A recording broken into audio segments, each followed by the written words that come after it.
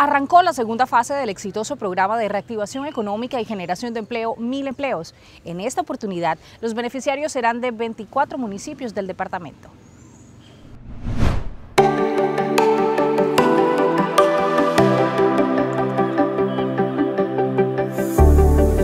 La idea central del proyecto es garantizar la, reactivación económica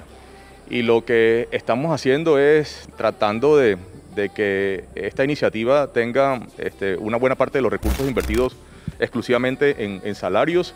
y que un, pequeño porcentaje de, la inversión se quede en, los artículos necesarios para poder hacer el, mantenimiento de la, infraestructura pública. Esta iniciativa este, nos va a representar un, salario mínimo para, para nuestra gente y que al mismo tiempo va a llegar a todos los rincones del departamento. Aprovecho el momento para principalmente invitar a, otros alcaldes y, gobernantes que eh, adelanten proyectos parecidos a esto porque el problema que más apremia en este momento es el de oportunidades de empleo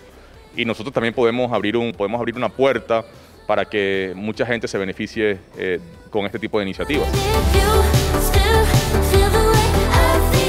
decirle que esta es una puerta de oportunidades que le abre el señor gobernador a los habitantes de Aguachica para esa eh, mano de obra calificada y no calificada para ganarse un sueldo sobre esta pandemia. Estoy muy agradecido, muy contento de ver que el señor gobernador siempre ha trabajado con Aguachica para sacar adelante sus obras. Y esta oportunidad de los mil empleos, donde Aguachica se favoreció con una parte de ellos, estamos totalmente felices y sobre todo los mismos eh, beneficiarios que son los que están más contentos porque esta oportunidad que llega el señor gobernador siempre la tendrán en cuenta y en su corazón porque la pandemia los tenía totalmente bloqueados y ahora tienen la oportunidad de ganarse un salario por una cantidad de tiempo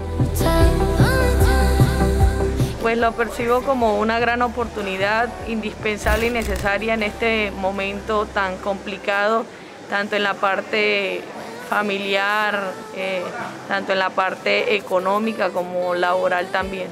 Muy bien, gracias a Dios, porque la verdad el, el empleo aquí en nuestro municipio está bastante colapsado, bastante,